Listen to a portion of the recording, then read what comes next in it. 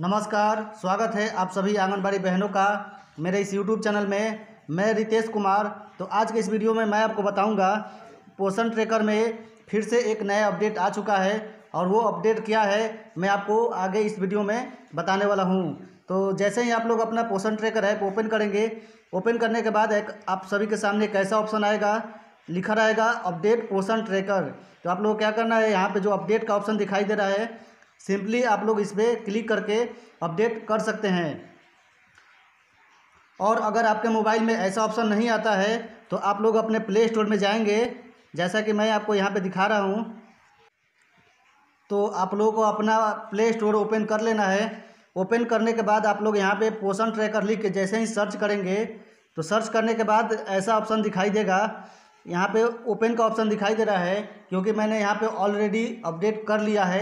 अगर आप लोगों के मोबाइल में अपडेट का ऑप्शन आता है तो यहाँ पे आप लोग सिंपली इसको अपडेट कर लीजिएगा।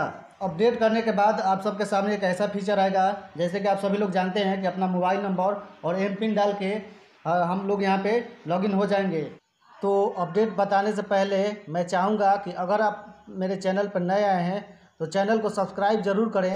ताकि इसी प्रकार से आने वाले वीडियो का नोटिफिकेशन आप तक मिलता रहे।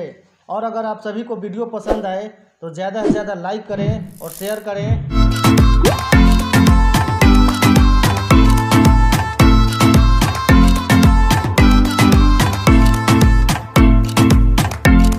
उसके बाद आप लोगों के सामने फिर से एक ऐसा ऑप्शन आ जाएगा, जैसा कि आप सभी लोग जानते हैं।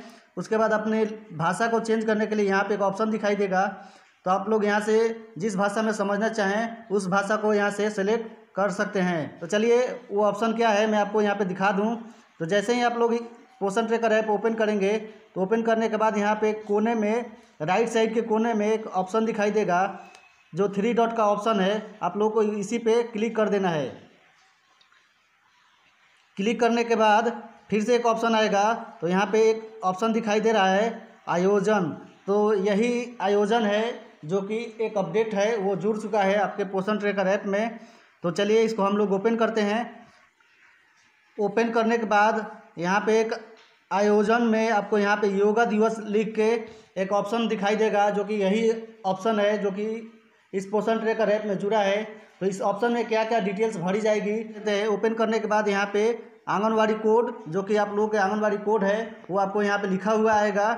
और जब भी आप लोग आयोजन कीजिए, इसका यहाँ पे तिथि डाल देना है।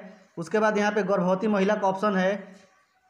स्तनपान कराने वाली माताएँ हैं और यहाँ पे तीन से छः साल के बच्चे हैं, किशोरवय लड़के हैं।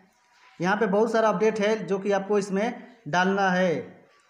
और यहाँ पे किशोरवय लड़कियाँ हैं। आंगनवाड़ी वर्कर आंगनवाड़ी हेल्पर और यहाँ पे ए एन एम तो इन सारी चीज़ों का यहाँ पे अपडेट आ चुका है। तो इसमें कैसे कैसे आपको भरना है, मैं नेक्स्ट वीडियो में आपको बताऊँगा कि ये ऑप्शन क्यों दिया गया है और कब कब ये ऑप्शन को भरा जाएगा।